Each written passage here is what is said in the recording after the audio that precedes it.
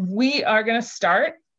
Welcome to our webinar. My name is Deborah Gallant. I am the Executive Director of E for All in Berkshire County, Massachusetts, though this program is open to any and all, so we welcome you all. Um, we do a monthly program where we try to offer a level of advanced education beyond pure startup to somebody who's a little bit further along um, to give you another uh, look at some of the stuff we think is really important to have a successful business. What's interesting is tonight's topic or today's topic about funding sources for your small business is a class in our accelerator, a version of it. It's called Asking for Money. But what happens is frequently people aren't ready when they're in the first 12 weeks of the program, but they're ready further on. And that's why we put this program together. We have a fantastic presenter. I'm going to let him give his own credentials in a moment, Raymond Lanza-Weil of Common Capital. And um, just so you know, we do an hour of content about, and then we turn the recording off. We only record the first hour so that any questions that you have that you want to ask Raymond will not be immemorialized forever in a recording. You'll have your chance to ask it. Um, and if you need to follow up with him, I bet he'll give you your con his contact information if you don't feel comfortable asking in a group situation. So um, because some of you are not familiar with E for All, E for All, Entrepreneurship for All, um, was started in Lowell, Massachusetts in 2013 and we are now in, uh, I believe it's 11 sites, maybe 12, just opened Buffalo. Um, we have Northwest Arkansas coming on soon. Most of our sites are in Massachusetts. We've one in Colorado. But the idea here is that um, E for All helps folks start their own businesses primarily through our business accelerator, but we also run pitch contests and programs like this deep dive that offer you further education. If you are not connected with E for All in your community, we encourage you to do so and find the one closest to you and, and sign up to be on their email list. E for All is a nonprofit. That's how we can afford to present free programming to you. And we are sponsored in Berkshire County by this wonderful list of contributors. As I said, the deep dives are every month. Now, we have them all archived. This one will also be archived when it's over. So if there's a topic that you've missed from one we ran before, feel free to go back and check it out on the eforall.org uh, page. Some of the really great ones we've done recently, not that they're all not great, was hiring your first employee, which if you've never done that can be pretty complicated. We did one on getting certified as a minority and women owned business. We've done them on negotiation skills. Uh, today, we're going to talk about funding. Next month on June 21st is about which kind of corporate entity makes sense for me. And we're going to talk a lot about social responsibility and B Corps because people have a lot of questions about that. We're going to do a program in July on DEI and my small business. How do I do the right thing? And in August 16th, how do I scale my business? And we're going to look for a, a panel of former E4All um, graduates who have scaled their business to large size and how they did it. And uh, Raymond's probably seen some of that in his uh, in his experience funding small businesses, it can be pretty complicated to go from one or two to big. So those are the upcoming topics. I'm gonna stop sharing and I'm gonna introduce our presenter, Raymond Lanza-Weil from Common Capital. Raymond is um, one of our favorite presenters at E for All. Um, he always makes what seems like a daunting subject very accessible, and I'm sure he will do the same today. Again, if anyone joined late, we're gonna um, have about an hour of a presentation, and after the hour of presentation, we will have um, time for questions and answers. If you have things that you need clarification on as Raymond is presenting them, do not hesitate to either raise your hand or type it in the chat. I'll be monitoring the chat. And let me just say a shout out, Casey O'Donnell, our E for All Berkshire County Program Manager. Casey, turn your camera on for just a minute. He's uh, behind the scenes taking care of the technology, paying no attention to the man behind the curtain. Um, we will have this recording ready for you if you need to jump off at some point and you can't wait for the whole thing or you want to share it with someone else you know, we are more than happy to have you do that. So without further ado, Raymond Lanza-Weil is going to talk about getting funding for your small business. Well, thanks very much, Deborah and Casey. Can you see my screen? Not yet. Oh, gosh. How about There we now? go. How about if we go from beginning? How's it look now? Excellent. Thank you. Hopefully all you can see is my screen.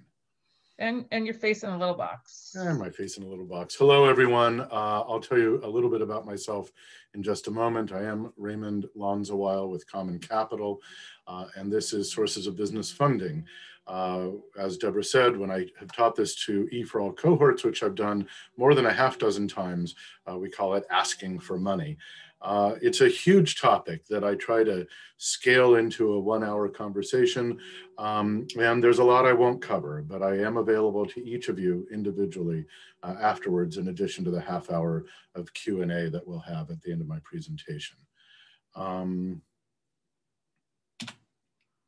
so these are some of the learning goals today. Uh, we want to talk about the variety of types of funding sources, uh, and really help you become more comfortable asking for money. I'll be focused on loans because I'm a lender by trade. Uh, I believe strongly that the concepts that I'll be talking about today apply to any kind of funding that you might be asking for. When you ask people for money, generally they want it back. So the ideas that go into a, a lender's approach uh, to lending money uh, apply to investors and grant makers as well. So really, I hope to unpack the mystery of a lender's or any funder's uh, decision-making process, and in particular, help you uh, be more prepared to apply for a loan. Um, it's a mystery box. I think a lot of the people that I work with uh, at Common Capital, which is a loan fund, uh, come to us not understanding what's inside this box. And that's certainly true with banks. Uh, uh, it seems sometimes as if there's a lot of stuff inside this box that nobody tells you about. Well, I'm hopefully going to open that box uh, and uh, illuminate what's inside. So very quickly about me, I was a banker for a number of years, uh, a commercial lender that is a business loan officer, uh, and now I lead Common Capital, which is a nonprofit organization that operates a loan fund uh, that serves businesses that can't get bank financing. I'm not here to pitch Common Capital. Common Capital is one example of many types of funders uh, that are potentially out there for you and your business. Uh, and we fall under this idea uh, or this, this uh, organizational type called CDFIs, Community Development Financial Institutions. There's about a thousand CDFI loan funds around the country uh, serving small businesses like yours, and many of them also serve affordable housing developers and some consumer lenders. Uh, we're based in Springfield. We serve all of Western Massachusetts, and we're not a bank.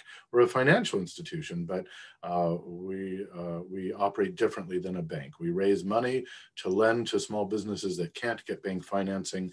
And we also provide ongoing business assistance to our borrowers. That is, um, arms around the shoulder coaching, advice, and mentoring, as well as hiring at our expense, not at our borrower's expense, uh, hiring experts in areas like marketing and, and bookkeeping and accounting to help small businesses uh, grow and become uh, more profitable and to thrive.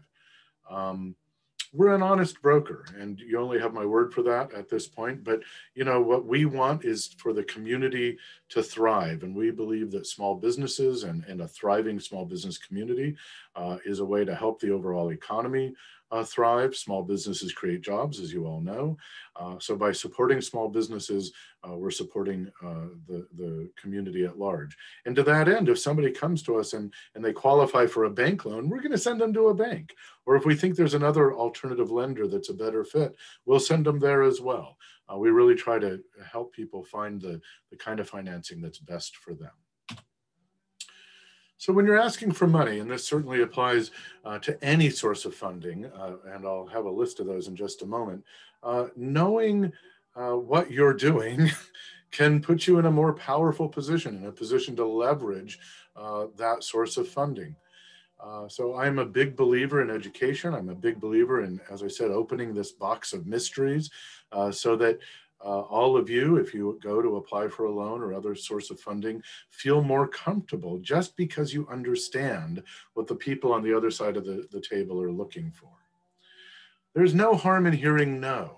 Uh, one thing that I found working with entrepreneurs for, gosh, over 35 years now, is that a lot of uh, entrepreneurs who are in the, the planning stage will take their business plan or their business idea to family and friends that know them and like them and say, What do you think? And the problem with that is that people that know and like you tend to just do a lot of nodding and they're very supportive and they want to encourage you and support you on your path. And sometimes those are the worst people to ask for feedback and advice. Sometimes the best people to get information from are the people that say no because they really challenge you to think differently about your plan and your idea and your work. And you learn from no. You learn what is inadequate for the potential funder or perhaps for the marketplace at large. So, so knowing your business and going out and talking to a lot of people and hearing people who maybe aren't so hot on your idea, hearing from those people can be very important to really uh, tune and fine tune what you're trying to do. Knowing your business and knowing your business plan is so key, and I'll hit on that topic repeatedly over the course of the next little bit. And be specific about what you need. Don't ask for what you want from a funder, a lender, a grant maker. Ask for what you need for your business.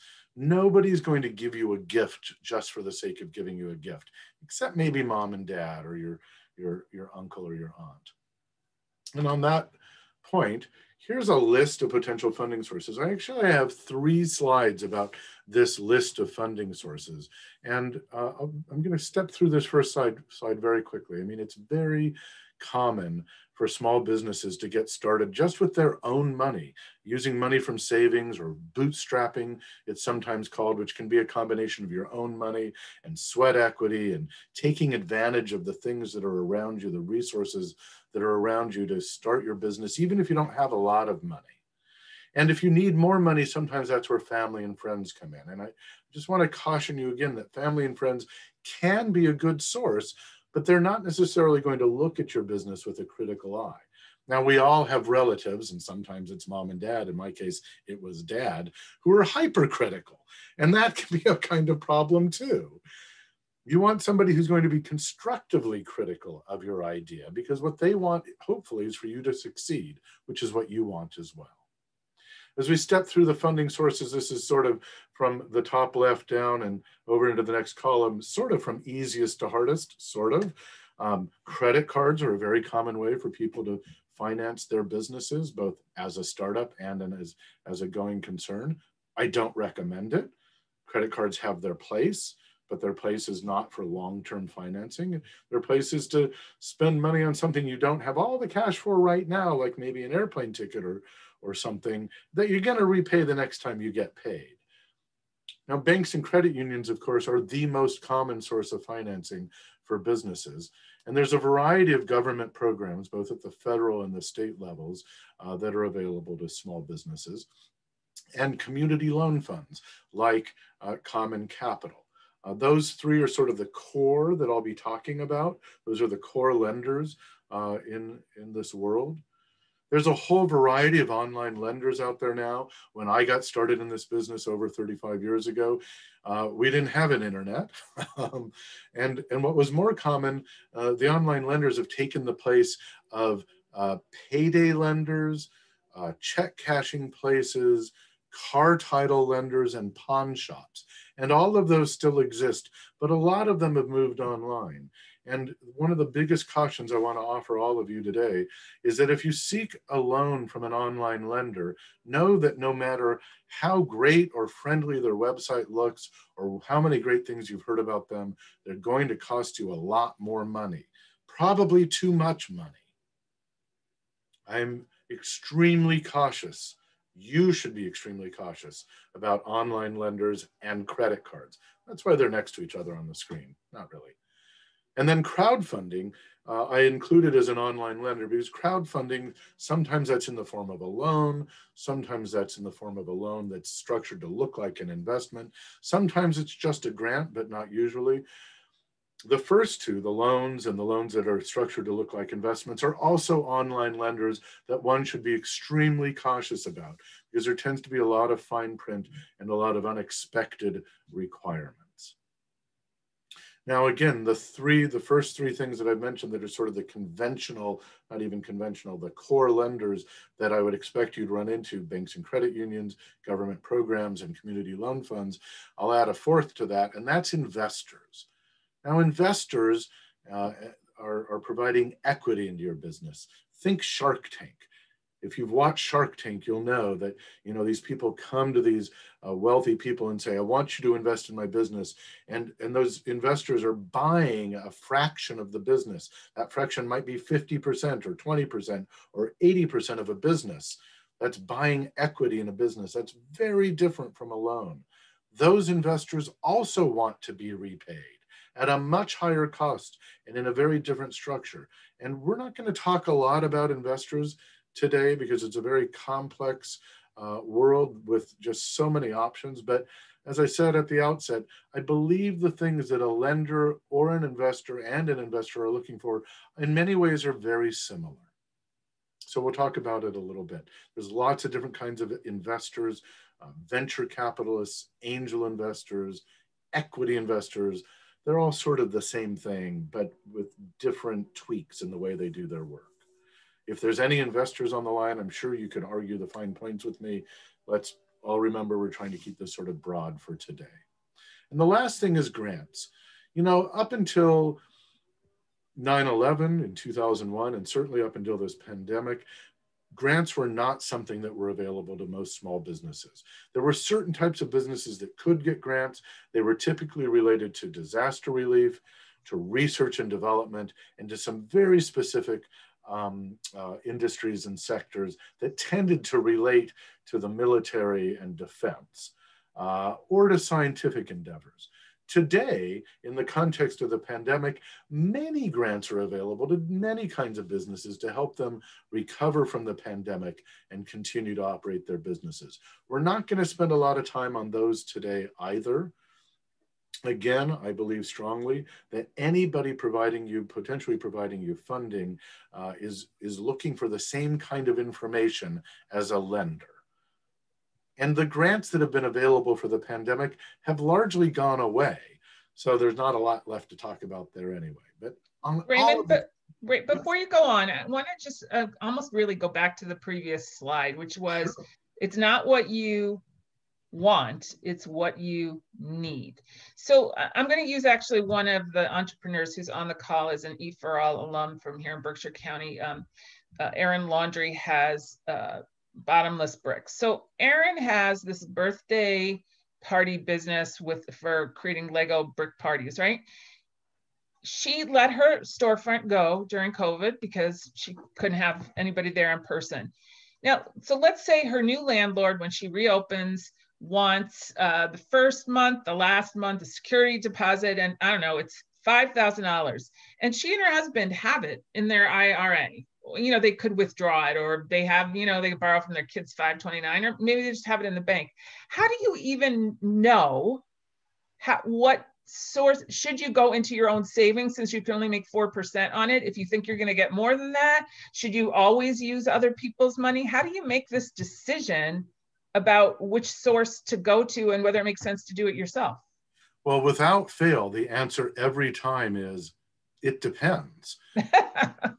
but to specifically answer the question, the, the scenario you posed, and uh, uh, I remember, it, it, Aaron, is that right? Aaron Long? Right. Mm-hmm. Aaron, I remember your business. Um, the first things I'd look at are this. Number one, I would never, if you can avoid it, I would never take money out of an IRA or a 529 savings account. I might take money out of savings. And I'm amused that you said 4%, Deborah, because if you're getting 4% on your savings account, you want to know where, right? No one's yeah, getting 4%. Absolutely. I mean, nobody's even getting 1% on their savings. So in today's economic environment, taking money out of savings makes sense because the opportunity cost that is the the cost of what you're losing you're losing let's just say for the sake of conversation 1% interest earnings on that money which is better than paying 5% or 10% to any number of lenders right? So if you've got the money in savings and and it's $5000 i don't think that's a hard decision to make to take that money out. On the other hand if that's your only savings you know, the general rule of thumb we're taught in financial literacy courses is that we should always have 90 days of household expenses in savings as a safety net. And if you're in business for yourself, that safety net is even more important. So if you have a safety net and you have a little bit of money over and above that that you can take out to use out of savings, then maybe you finance it yourself by using your own money. But if you need much more money than that, or if you're digging into your safety net, or God forbid, digging into your IRA, your retirement, or your kids' uh, educational savings account, I would not go in that direction. I would almost always borrow the money. There is a cost to borrowing money, but the cost to borrow money in today's environment is fairly low. And, and that's true, even if it'll take a long time to to put that savings back because there's a ramp up time before you're profitable in your business. So she's going to have, I'm going to, Erin and I haven't talked about this, so I'm putting words. so I don't even know if this is the case, but if that five thousand uh, dollars with her projections can't be paid back for two or three years, you still think that that's a better scenario than using one of these other outside sources? Well, generally I do based on this very specific scenario. And the next scenario is going to be different and I might change my tune. If a person has $100,000 in savings and needs $5,000, that's an easy answer. If somebody has $5,000 in savings and needs $5,000, I would not take that money out because now your safety net goes poof. Um, I would also, this is a good time to introduce this concept.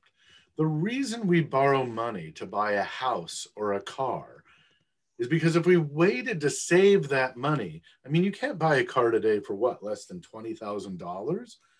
If I'm a wage earner, it's going to take me years to save that money up. And then I could go out and buy the car and have it free and clear.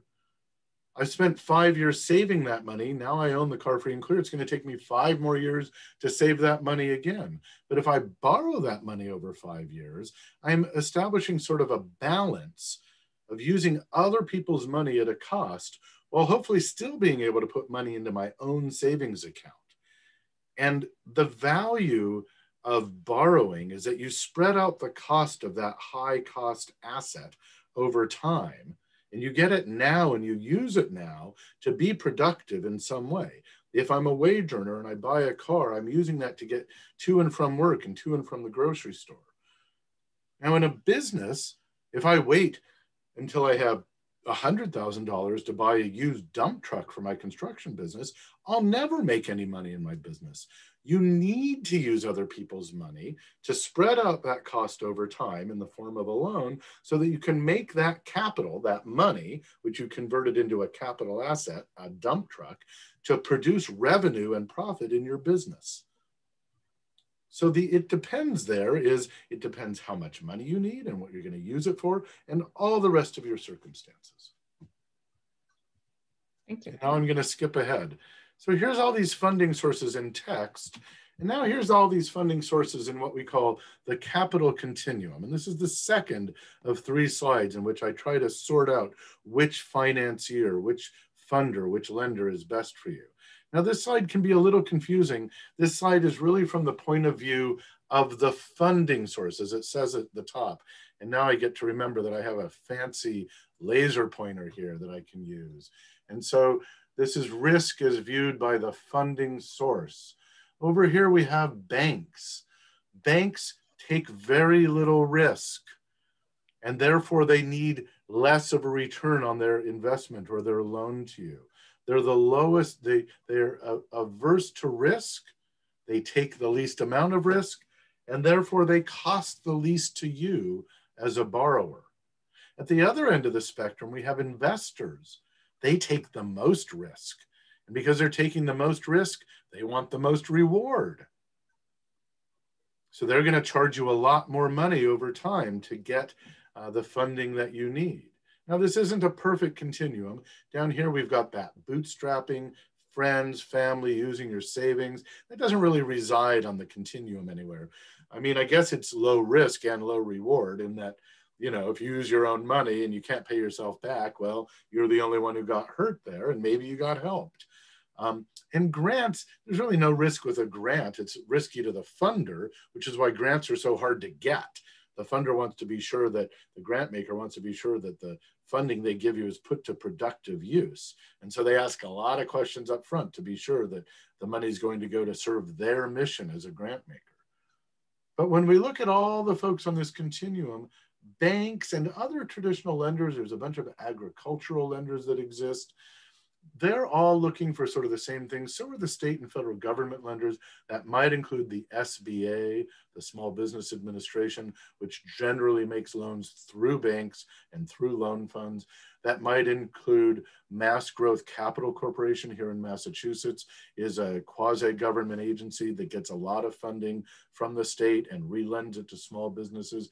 It might include lenders like us, CDFIs and other community-based lenders all of the folks on the left side of your screen are lenders. And again, starting with the banks, they're averse to risk. They take little risk. They charge very little. These lenders, the online lenders, the, the, the government lenders and the community-based lenders and CDFIs take more risk and charge you higher interest as a result. When you get into these folks, the so-called near equity lenders, royalty lenders, subordinated lenders, they're taking on even more risk. They're going to charge you even higher rates before you get down to the far right end where the angel capital. Raymond, I, I don't think I've ever asked you this, but I don't really know what royalty financing and convertible debt are in regards to small business. My husband I, works in finance and I know what those are for big investment portfolios. Do they really apply here? They they apply to any business that has high growth potential. And that's something that uh, royalty lenders, near equity, sub debt, and angel investors and venture capital investors, all of these folks on the right and the upper right of the screen, what they all have in common is they're looking for growth. So if your business is a retail business, it's probably not going to be a high growth business. If you're in construction or screen printing or, or you're a locksmith, probably not high growth agricultural endeavors, not high growth. High growth tends to be in manufacturing, in software, in online businesses of all shapes and sizes. And those businesses that have high growth potential are the ones that have a greater opportunity to attract uh, equity capital, that's all the folks here, and to attract this quasi equity, which includes royalty lenders. And a very quick story there was a business that was based in Springfield going back to, I think, 2000, 2012 or 2013 called HitPoint. They got started at, uh, with, uh, well, they got started and they, they got help in their early days from an organization in Springfield called Valley Venture Mentors, which is a cousin of E4All. Valley Venture Mentors is very much focused on mentoring high growth potential businesses so that they can attract investors. And in fact, they have, Valley Venture Mentors has made investments and made investments in this HitPoint company that was a creator of online games. And HitPoint eventually uh, moved up to Greenfield, and they needed uh, a different kind of loan than they could get from a bank after they'd attracted some equity investors. And they came to us, and we made them a royalty loan. That is a loan that we made at a low rate of interest, but we took a high cost percentage of their top line gross revenues, a royalty off the top from their sales um, for the privilege of borrowing money from us in what was then a very high risk situation. That was about four, maybe five years ago. And then just a couple weeks ago, after continuing to grow and create more profits, um, they sold their business to a publicly traded company called Penn National Gaming because they, part of what they did had to do with the gambling industry. And this uh, this gambling company wants them to develop more online games for them. This is a home run, and you don't see these every day. The early investors in that business got paid.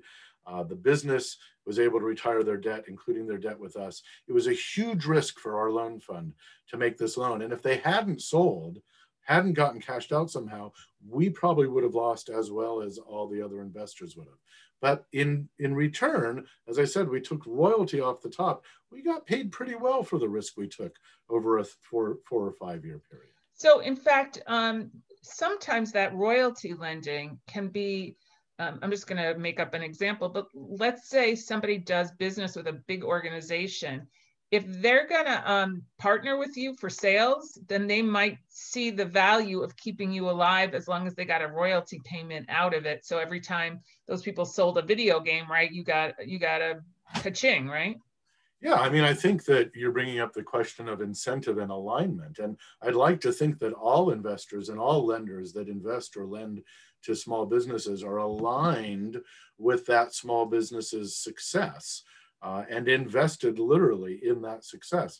Unfortunately, you know, banks are beholden to their shareholders. So their first responsibility is to make money. Their first responsibility is not to the small business they've loaned money to. And that's at this end of the spectrum.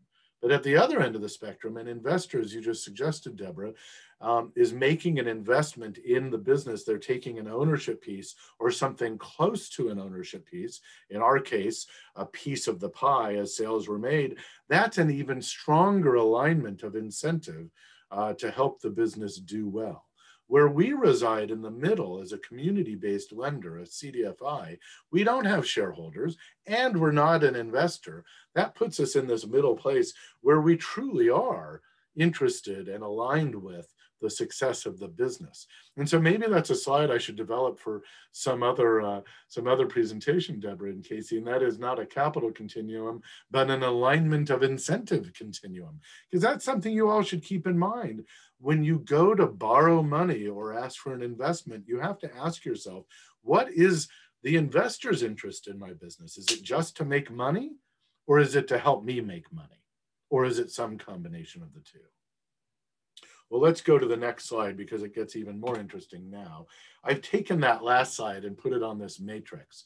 On the left side, you've got the cost of money, which rises the further up in this matrix you go, and then accessibility of the money what's the easiest money to get versus the hardest money to get. And if this matrix is accurate, and I think it is, savings is in the lower left-hand corner. It's easy to access savings, it's yours, and it doesn't cost you anything. You're just giving up less than 1% interest.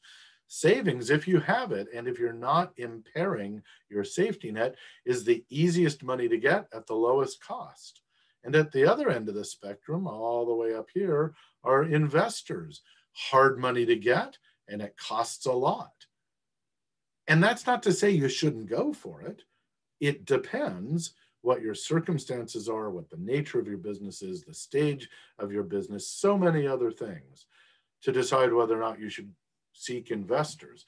Part of it depends on how much money you need. Most investors aren't going to invest, you know, less than probably $100,000 in today's market. And many investors, institutional investors, uh, investment funds that you might run across are looking to invest a lot more than that. Coming back over here, there's a bunch of folks that are easy to get money from. Your own savings and friends and family. Friends and family may cost you more. You might have to pay interest to friends and family, or you might just have to pay for the grief of not paying them back, you know? Uh, credit cards, of course, the lowest interest rate on a credit card these days is 18% which is pretty inexpensive compared to online lenders. I was looking this up last week. I saw one online lender that was very clear that their minimum interest rate was 45%. It was in the fine print, but it was there. Please don't go to online lenders. If you hear nothing else from me today, please don't keep these people in business. They are not good for our economy or for small businesses, but they're easy. You type in, I need money tomorrow, you can probably get money tomorrow, and you'll be paying for it for a long, long time, and you'll regret it, I promise. Over here on the hard side, it's harder to get a grant or a forgivable loan, some of which have been available in today's uh, economy. The SBA's PPP loans, Payment Protection Program loans, available to existing businesses at the uh, when the, the pandemic started. Those businesses could get loans that could be forgiven, really hard to get in some cases.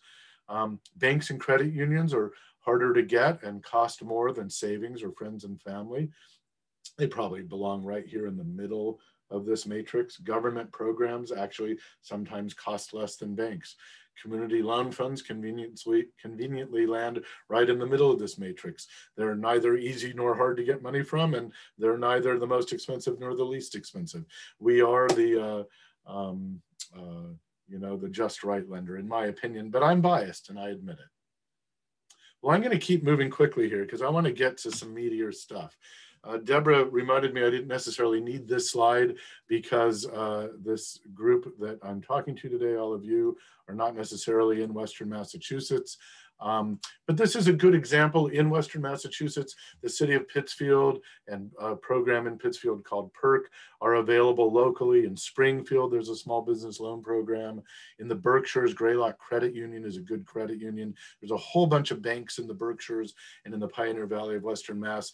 Um, Berkshire Bank, um, uh, uh, Berkshire Cooperative Bank, um, uh, a whole bunch of them. I mean, if there's any bankers on the line, I want you to know, I want the people who aren't bankers to know that local banks are a great way uh, to raise money for your business as opposed to national banks.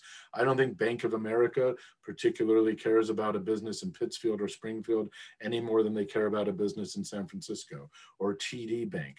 But smaller local banks and credit unions are a part of our local economy, the fabric of our community, and they tend to be more aligned with your interests because of that.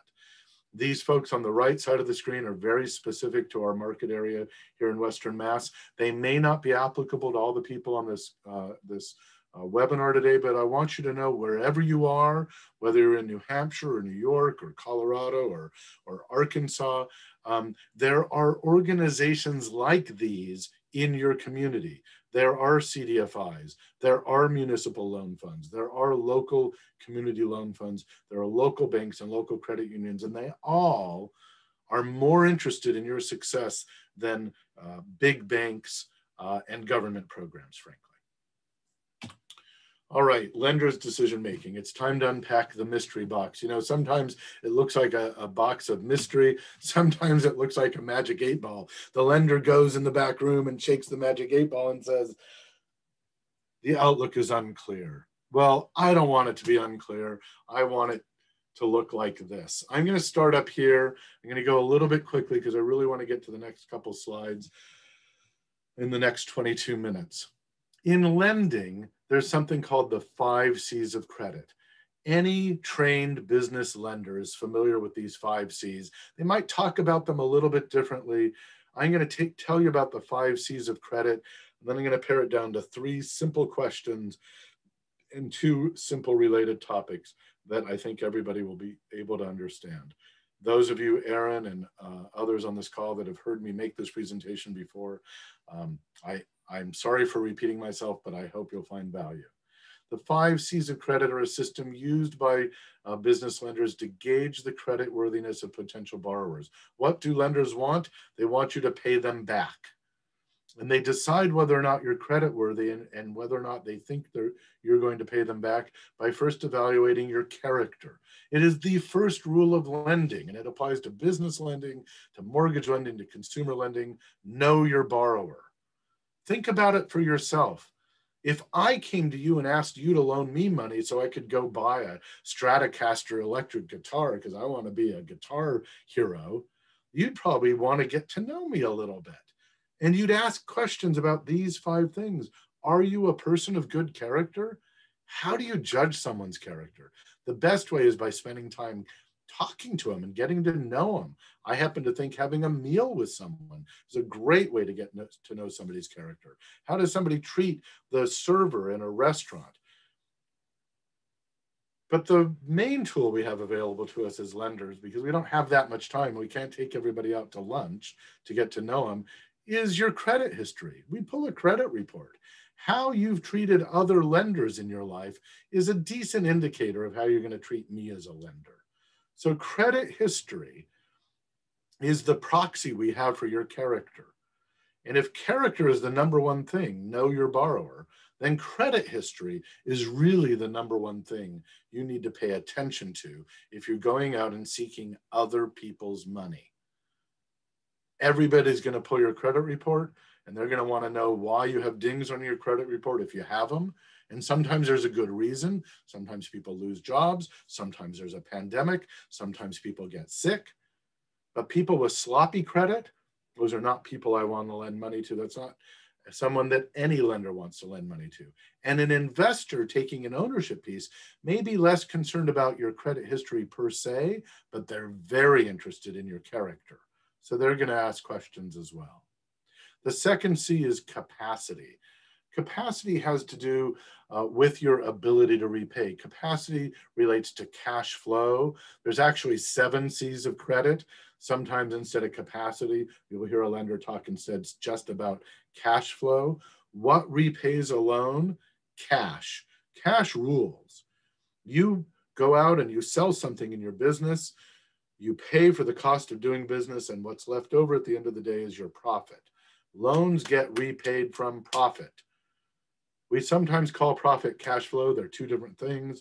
I'm not going to talk about the difference between cash flow and profit in this session, but there is a difference. What's most important for you to know is that you've got to make a profit.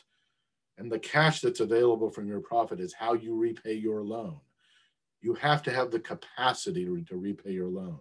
If you have an existing business, any lender, whether it's me or the bank or the credit union or the SBA, is going to say, How much money have you made the last two years operating your business? Oh, you've made enough money to be able to repay the loan after paying all your business costs. That's a demonstration of capacity to repay.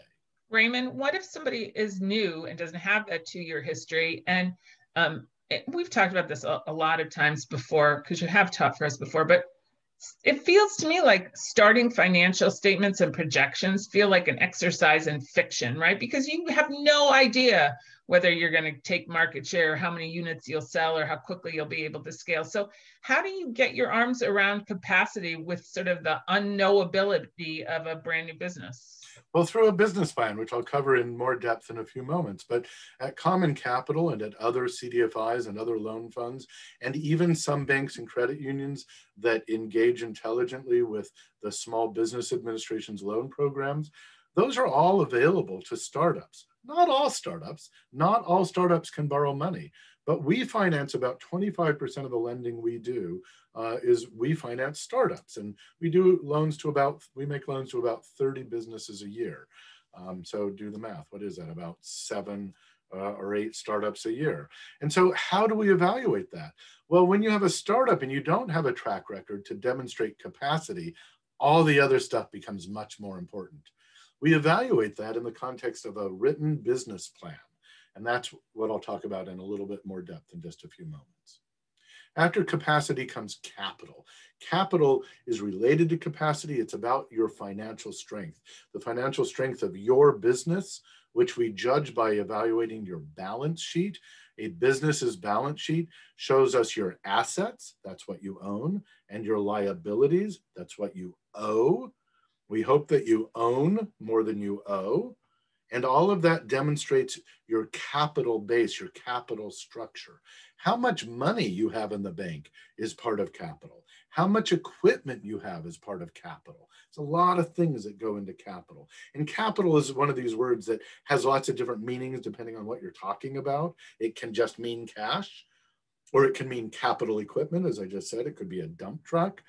In this case, it means all the things that contribute to the financial strength of your business at a point in time, as opposed to the cash flowing into your business. Collateral is required by almost all lenders, and those are the assets, the, the material goods of value that you pledge to the lender.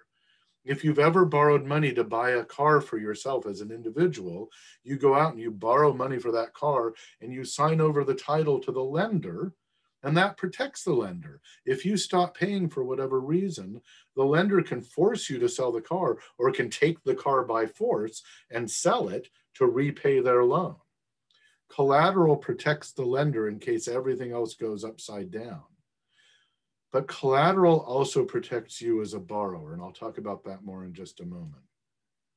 And the fifth C is conditions. What are the market forces that are at work that are contributing to both the opportunities and the threats that your business faces. What's the competition for your business? I asked somebody recently, tell me about the competition for this business you're trying to start. And the answer was, we have no competition. And that was the wrong answer. Every business has competitors. Competitors make us stronger. We must recognize that competitors are out there and we must be able to demonstrate and articulate how we're going to compete and do better than they are. Five C's of credit, which I'm now going to boil down into three questions. Uh, can, I, can, can, I ask one clarifying question about the previous slide? If I have an incorporated business, I don't know, an S Corp, an LLC, is my personal property the pledge you want for collateral, even though it's my business doing the borrowing? In the small businesses that I deal with, and in fact, 80% of businesses across the country are small, closely held businesses with either a single owner or a couple who own it or a small partnership or a small corporation. We're not talking about, you know, the, the Market Baskets, the Big Ys of the world, the, the big companies. In those cases, especially when it's a single owner, whether it's incorporated or not, the business and the person are indistinguishable. As a lender, I'm making a loan to your business that may be ABC Corporation, but you're the only shareholder of that corporation or the only member of that LLC. And in that way, it's a lot like a sole proprietorship. When I lend to your business, I'm lending to you as an individual. If the business has assets to, to uh, pledge as collateral, we take those business assets. But if there aren't sufficient business assets, and I'm going to pick on Erin Landry and say, you know, Lego type blocks are not particularly good collateral for a lender. I might need Erin Landry to pledge her car or her house instead, or in addition to the Lego type blocks, because there's not enough value in those business assets. So, as I said before, Deborah, it depends. Okay. And the kind of lending we do, we frequently take personal assets if there are insufficient business assets to pledge. So um, for people who've been through EforAll, um, we talk a lot about which kind of corporate entity and about getting insurance, but the reality, what I'm hearing from Raymond, and this is sort of an aha for me, so it probably is for many of you, is that because he thinks about lending to you personally, even though you have a business, he's going to ask for your car or your RV or your house as collateral, and you need to be comfortable with that. And so the court, the type of entity and the insurance issues don't get you out of that risk. But if you believe in what you're doing, this shouldn't be something that gives you, you know, keeps you up at night. But it's serious. I mean, he needs to have some some feeling of confidence on this. I don't know if anyone else wants to check in or talk about this specific issue or or we can go on, but I know sometimes it's a surprise that even though you're an LLC, yes, your own house could be up for collateral on a loan. And here's why. I mean, any lender, even to a larger business, a very large business, any borrow, any any owner of that business that owns at least 20% of the business will be required by a bank, a credit union, or a loan fund, or the government to guarantee, to personally guarantee that loan. So that's why I say that the person and the business are indistinguishable. If I'm talking about a business one with one, two, three, or four owners, all of those owners almost certainly have at least a 20% stake. They are the business. I make loans to businesses, but businesses are backed by people. And what's the first rule of lending? Know your borrower. The borrower is both the business entity and the people behind it. Great, thank you. All right, three questions. This is kind of crude. I learned this on my first day as a banker 30 some odd years ago. Those five C's of credit boil down to this Can they pay? Will they pay? And can I make them pay? The crude part is can I make them pay? But can they pay? This is the most important thing. If your older brother comes to you and says, Hey, lend me money so I can buy a car, you're like, Hey, big brother, you're going to pay me back? And he says, Of course I'll pay you back. And you say, Yeah, but you've been, been unemployed for as long as I've known you all my life. You're not going to be able to pay me back. I'm not going to lend you money. I pick on big brothers because I have one, but he's employed. Capacity and cash flow are the can they pay part uh, of the, these questions. Will they pay is a question of character and credit history. Your number one asset as an individual is your credit history. If you don't have good credit history, today's the day to start cleaning it up.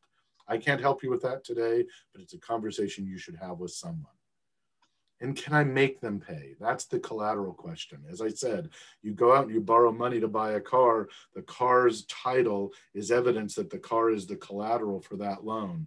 And if you can't pay back that loan, the bank's going to come take it from you and sell the car. But the reason that collateral actually protects you as a borrower is that it's your plan B. Plan A, I'm going to make money in my business and repay my loan. Plan B, if plan A doesn't work, I'm going to sell that car or that truck or that piece of equipment and repay the loan before the bank or the lender comes and takes it from me. And in that way, you should think about as collateral as your protection in case your plan doesn't go according to plan. Ephraim so has, a, has a question about uh, getting beyond a bad credit report. Um, but do you want to save that to later? Yes, please. Okay. So what's most important? So cash rules. Cash flow is the most important thing to a lender, any lender. You hear about collateral lenders. If you're talking to a collateral lender, you're talking to the wrong lender. That's the lender that lends you, they're called hard money lenders. They lend you money in the hopes that you'll fail and they can take your car, your boat, or your house. If you're talking to a lender that's not primarily interested in your business's success and its ability to generate cash, you're talking to the wrong lender. And character is the second most important thing. Yes, as a lender, we want collateral yes, most lenders want collateral. Investors don't want collateral. They want a piece of the business itself. So cash flow and character are the most important things. All right, how to get a loan. We're running out of time here, so I'm gonna jump through these quickly. I wanna assure all of you, I am available by email and telephone after this at no cost to provide you with uh, guidance. And the one hour is not, not a hard stop, so don't rush Great. your slides. Thank you. Um, so when you apply for a loan, whether you go to a bank or a credit union, to a loan fund, uh, to a government program that is typically accessed through a bank, credit union, or a loan fund, or even if you're talking to an investor, one of the first things you'll need are your historical and current financials and your tax returns. Lenders want to see both. They want your tax returns because they want to see what you're reporting to the government. And they want your in house financial statements because they want to see how well you're keeping track of your money, the money coming in and the money going out on a regular monthly basis. Those are the same financial statements that go into making your tax returns, and they should look sort of the same. They never look exactly the same because tax accounting is different than, than business accounting. But if you're already in business, these are things you should have. And if you don't have these things and you're already in business, that's a little bit of a yellow flag for a lender. And you're also going to be asked to provide a personal financial statement. Why? Because in a closely held business, as I'm certain everybody on this uh, call, on this webinar uh, has, if, you, if you're in business, um, the business and the individual are really inextricably tied to one another. We make loans to businesses, but the businesses are the people behind the business. Now, if you're not already in business, or if you're only in your first year of business, you're not going to have tax returns or historical financials. And that's where projections come in. And we'll talk about that on the next slide, which coincidentally is right here. So when you have a startup business, you should create a business plan. What is the value of a plan? The value of a plan is putting pen to paper and saying, here's my idea and I'm dumping it on paper and writing it out so that I can think more about it and I can create a roadmap for myself. Business plans and financial projections are extremely important, even if you're already in business. However, if you're already in business, if you have two or three years of solid profits sufficient to repay the loan that you need from the bank or the credit union or the loan fund, you probably don't need to present a business plan to that lender. If you do, that's a bonus. In my ideal world, every business owner creates a business plan and revisits it every six to 12 months. And here, in my opinion, is the value of a business plan. It gives you a roadmap.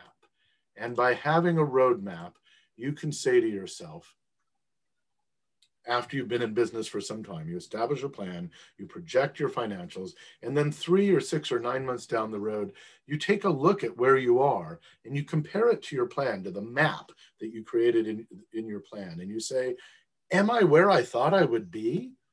And eight times out of 10, the answer is no. Sometimes you're in a, you're, you're almost always going to be in a different place than planned. Sometimes you're in a better place, and sometimes you're in a worse place.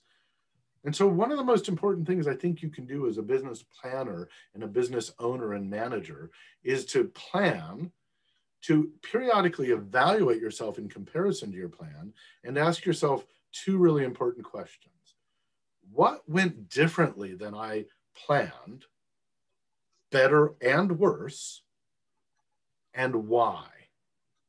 If you periodically ask yourself those two questions in comparison to your plan that you've revised periodically over the years, you'll know how and when to adjust. Now, most business owners are entrepreneurial, and most business owners are doing this naturally every day and in the course of a day. What's going differently than I expected when I woke up this morning? And how do I have to adjust for it? This is actually a life lesson. We all do this in our subconscious and sometimes in our conscious every single day. With our businesses, we need to be very deliberate in writing out a plan and evaluating where we are in comparison to that plan, especially where are we in terms of the money. We're in business to make money. We're in business to provide a living for ourselves, for our for our employees, so that we can take a vacation, so we can buy a house, so we can create more jobs. It takes money to make money. You've heard this, I'm sure. And it takes keeping track of the money to make money. And it takes comparing what you did to what you expected to do and adjusting accordingly, even when you're doing well, so that you can continue to do well, so you can capitalize on what's working. Raymond, so, Raymond I, I want to take just a moment here. I, I know many of the folks here are recent alums of our EforAll program. We do have you do the financials and projections to eight months, 18 months out. So you have a, a format, a template for a spreadsheet. We do not, however, have people write business plans. Um, it's just not a choice that EforAll made. However, all of the elements of what you put together for your final presentations are the building blocks of a business plan. There are formats, and I know that Raymond's folks and almost everybody has different templates for business plans. No one's asking you to drop everything and spend the next six months writing the world's most elaborate business plan. You can usually take a lot of the information and research that you developed, your surveys, the financials, the marketing plan that you developed, and work it into a format we do not spend time doing that early on in EforAll because we have you get ready for final presentations instead. But I think that the dividing line here is if you want to use somebody else's money, it's legit for them to say, okay, show me in writing how you're going to make this work. So that's what they're asking you to do. But it's not starting from scratch, it's building on what you've already done. And it's not that hard. Uh, Raymond, do you want to tell the story of the guy with the the cement mixer or the the driveway paver, paver. from Holyoke paver. who you gave money to? I will in just a moment. And we don't give money, we lend money, but oh sorry. Sorry for being specific. Um, I will at the end of this these notes. Business plans don't need to be fancy or extensive. They don't need color glossy photographs or fancy covers. They need to be a brain dump that's organized and readable of what you already know and are thinking about and there's tons of outlines out there. We have one that I can provide. Um, but it's just a way of getting what's in your head to explain to your potential funder or lender or investor what it is you intend to do. And in so doing, you need to know your business and know your numbers. As I said, this is about making money. So Carlos Rosario was in the EforAll cohort in Holyoke uh, last year. About this time last year is when I met Carlos. And Carlos had worked for a couple of decades for a road paving company. Um, he knew how to pave roads. He saw in his community in Springfield that there weren't really that many residential pavers for driveways and such. And he decided he wanted to start his own business as a residential paving company. He went through E for All and then he came to us for a loan. He brought capital to the table. He already had some of the equipment he needed. He brought experience to the table, which is part of that's human capital, right? He'd been doing this for 20 years and having acquired some of the capital equipment he needed to do driveways, he'd already done some jobs on the side. He knew what it would cost to do a job. In fact, he'd written that on the back of a piece of paper. He, on the front of the piece of paper, he had a, a list of leads And really, he just handwritten this on a piece of notebook paper.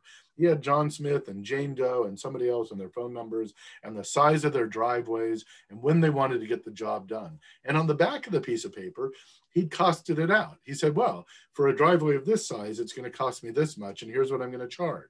And he had three or four different examples. He did not have an extensive, he didn't have any business plan, frankly, and he did not have written projections, but he had gone through EforAll that speaks volumes to us. People that complete EforAll and other similar training programs have demonstrated character and commitment in a way that, frankly, credit history doesn't even come close to explaining. And because he had the experience and the capital equipment and the plan in his head, and he'd finished EforAll, we worked with him to develop the projections uh, with him and to say to him, does this look like what you had written on the piece of paper? Now it's in a spreadsheet. These are your numbers. And we worked back and forth with him and with an outside consultant. And we were able to make him a loan to start his small business, Rosario Paving of Springfield. If you're in the Pioneer Valley, especially in the Springfield area, and you need your driveway paved, you should call him. He's an E for all alum. So I think that's a great example. And thanks for queuing that up, uh, uh, Deborah. Transparency is the last item on this page. I cannot emphasize this enough. Lenders and investors, even mom and dad, if they're your lender or your sibling, no lender or investor likes surprises. When you go to apply for funding, whether it's a grant, a loan, or an investment from an equity investor, you must be transparent, warts and all. We want to know everything. We want to know everything, not because we're nosy by nature, but because we want to understand the risks, we want to understand the opportunities. And the more transparent and clear and upfront you are about the hard stuff, that tells us two things. That tells us, number one, what we should be looking for, and it's a demonstration of your character people that come to me and say, like the guy that said, I have no competitors and I'm going to be successful because I'm going to make money but didn't really tell me how he was going to make money in his business, which I, I, I, mean, I'm not telling you what the business was, but he had a business that we would all know and understand. But he didn't articulate how he was going to be different from the other businesses. And he didn't articulate what the challenges were. Maybe he didn't know. But if he did know, he was not transparent about it. And I was not interested in hearing more about that business, frankly. So when you're applying for a loan, you need to know what you need first and foremost. People that apply to us and say, I need growth capital. We had a pizza shop owner say that, hey, I've had a pizza shop for two years and I want to grow my business. So I want to borrow $50,000. That didn't really tell us anything. That's what he wrote on the loan application, grow business. He knew how much, $50,000, but he didn't tell us how he knew what he needed. What he really needed was marketing dollars he wanted to do a bunch of advertising and get flyers out in the community and he wanted to print a bunch of menus that could be distributed. He wanted to do social media marketing. He wanted to do all these things related to advertising so he could generate more sales. That's what it meant to him to grow his business. Totally legit. But what he should have put on the loan application was i need to borrow $50000 to engage in this advertising and marketing plan with these elements. And here's what they will each cost and here's the difference it will make to my business. If I can advertise this much, I'll grow my revenues by this much. And I'll be able to repay you. If you, one of the one of the people in an EforAll cohort had a a t-shirt uh, screen printing business, and he was talking about buying more screen printing equipment. Well, Let's take that as an example. What do you need? I need equipment. How do you know you need it? Well, my order volume exceeds the number of t-shirts I can print in a week. So I'm losing on, on opportunities to generate more sales. If I had more t-shirt printers and more employees, I could meet that demand. I know this because I'm turning away business. What difference will it make? Increased revenues, increased gross profit, increased profit. How you repay? From that increased profit. What's plan B? Gosh, if it turns out it was just a fluke and everybody was buying t-shirts because of the damn pandemic, excuse my French, and now I don't need so many pieces of equipment anymore, I'll sell that equipment as part of my plan B. Very quick examples about what uh, lenders are looking for and what you should be looking for. If you borrow money, you should know what your plan B is. Oh, I guess the cursor's over there. What's my plan B? You should know the answer to all these questions before you ask someone for money. And if you don't know the answers to these questions, you're probably not ready to borrow. All right, just a couple more slides. Well, if you do all that, hopefully you get results. And this, when I first found this stock photo, I thought, won't it be great if somebody just dumps a bunch of money on your desk and you can use it in your business to make more money? And that's really the point. The result isn't just getting the loan or the investment or the grant. The result is that you're going to put that money to work in your business to make more money in your business endeavor. That's what this is all about. The end game isn't getting the loan or the investment. The end game is putting that money to work to do what you know how to do. I'm going to leave this slide up for just a second. This is how to reach me. That's my cell phone. You can text me, you can call me, you can email me anytime, day or night. I promise I turn my phone off when I don't want to talk to people or when I'm sleeping, which is usually the same thing. Uh, Raymond, you're also going to make these slides available, right? So you'll send them to Casey or I, and we will email them out to everyone. Absolutely. And I'm going to take this down in one second so we can see everyone's pretty faces. Going once, going twice. If you don't write it down, you can always get it from Deborah or Casey. By the way, I forgot to introduce my interns, Fozzie Bear and Kermit the Frog. Some of you might be wondering what's this finance guy doing with a couple of Muppets on his shelf. I'll tell you sincerely, this is serious business. Your businesses are likely your livelihood, and I take that very seriously. And it can be stressful to run a business. It can be stressful to lend money to businesses. So I try to keep it light when I can. But this is this is hard. What you're doing is hard. Running or starting a business and borrowing money or getting an investor is hard too. And I hope what I've told you about today makes it a little bit easier. And if it didn't make it any easier, then you should call me and we should talk. And now I'm ready for your questions. And should we start with the credit history question? Deborah? Yeah, let's start. Let's start there. I think the question was, how do I improve my credit history? I think, uh, Ephraim, do you want to make uh, make this